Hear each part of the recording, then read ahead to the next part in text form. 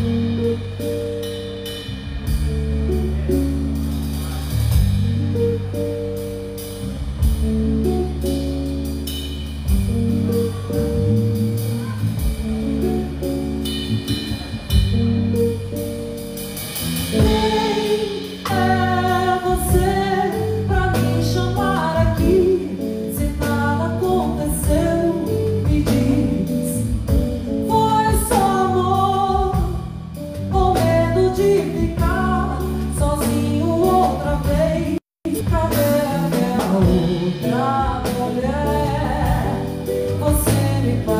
Se acalmei, a chuva já passou por